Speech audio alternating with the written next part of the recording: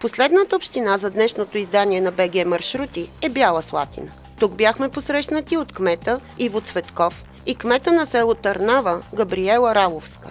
Екипът ни беше изненадан колко много работа е свършена в тази община. През изминалия мандат успяхме да реализираме, пак ще го кажа, успяхме да реализираме воден цикъл на Бяла Слатина, на град Бяла Слатина, с изграждане на пречиствателна станция за отпадни води и подмяна на съществуващ водопровод и съществуваща канализация. Успяхме да реновираме водопроводите в 4 населени места. Приключихме проекта по рекултивация на общинското сметище, разкриване на два центъра за настаняване от семейен тип, изградени в Бяла Слатина, социален патронаж, развитието на услугата топъл обяд. Заварихме доста лоша инфраструктура. Все пак и с държавата се успя да се направи път В-13, където спокойно от Бяла Слатина се пътува до областните центрове Враца, областния център също Плевен. Успяхме да рехабилитираме третокласната пътна мрежа, успяваме да ремонтираме четвъртокласната общинска пътна мрежа. В Бяла Слатина има две професионални гимназии и една гимназия.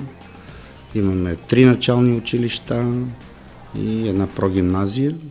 Шест детски градини са на територията на община Бяла Слатина. Най-вече имаме задължение към жителите за облагородяване на населените места. Село Търнава, това е най-голямото село на, в община Бяла Слатина. Хората са добронамерени, трудолюбиви. Разполагаме с училище, в което се учат 200 ученика, ученици от съседното населено място Алтимир, детска градина с около 100 деца. В предишния мандат реализирахме два плодовски проекта на стойност по 10 000 лева, които бяха за благоустрояване на парковете в село Търнава. Чрез проект на читалищното настоятелство изградихме а, сцена на открито. Основните проблеми са около благоустрояването на улици, обновяване на водопровод, мечта е все още канализация, но това са неща, които биха могли да се реализират единствено и само чрез проекти. Пожелавам здраве, късмет и добри дни за всички хора.